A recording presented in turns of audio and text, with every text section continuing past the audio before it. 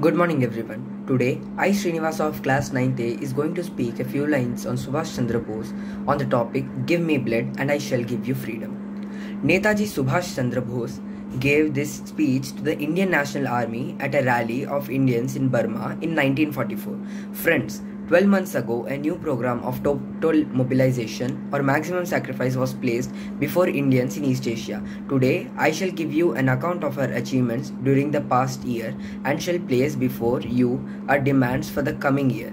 But before I do so, I want you to realize once again what a golden opportunity we have for winning freedom.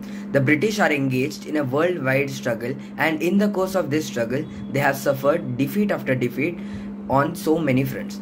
The enemy having been thus considerably weakened, our fight for liberty has become very much easier than it was five years ago. Such a rare and God given opportunity comes on once in a century. That is why we have sworn to fully utilize the opportunity for liberating our motherland from the British yoke. आपने ही मुझे पहली बार कांग्रेस का राष्ट्रपति बनाया था जबकि मैं देश निकाले पे था और आज जब मैं खुद जीता हूँ आप मुझे नहीं चाहते मैंने ऐसा क्या किया है बापू? हम सबको हम सबको अपनी आत्मा की आवाज़ ही सुननी चाहिए सुभाष। लगता है कि मैं आपके बताए रास्ते से अलग जा रहा हूँ। क्या इसलिए आप चाहते हैं कि मैं इस्तीफा दे दूँ?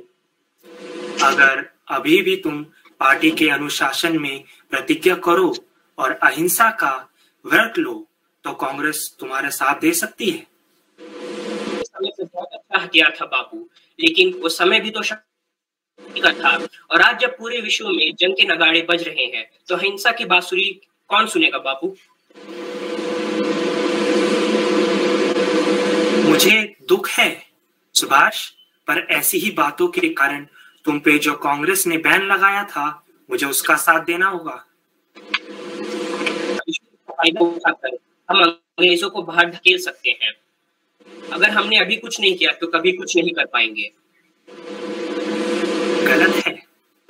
दुश्मन को उसकी मुसीबत के वक्त दबाना गलत है।